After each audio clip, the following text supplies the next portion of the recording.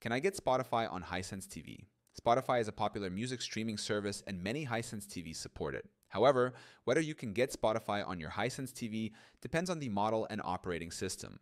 Hisense TVs use different platforms like Android TV, Roku TV, and VIDAA, which determine app availability. 1.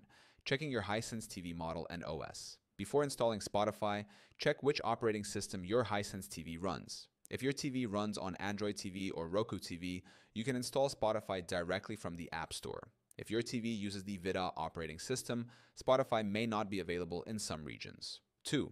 Installing Spotify on Android TV. If your Hisense TV runs on Android TV, follow these steps to install Spotify. Step 1. Open the Google Play Store on your Hisense TV. Step 2. Search for Spotify in the search bar. Step 3. Select the Spotify app and click Install. Step 4. Once installed, open the app and log in to your Spotify account. 3. Installing Spotify on Roku TV. For Hisense Roku TV models, install Spotify using these steps. Step 1. Press the Home button on your remote. Step 2. Scroll to Streaming Channels and open the Channel Store.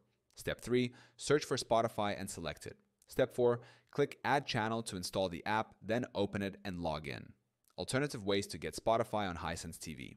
If your Hisense TV does not support the Spotify app, you can use alternative methods. Use Chromecast. If your TV has Chromecast built in, you can cast Spotify from your phone. Use AirPlay. If you have an Apple device and AirPlay support, you can stream Spotify to your TV.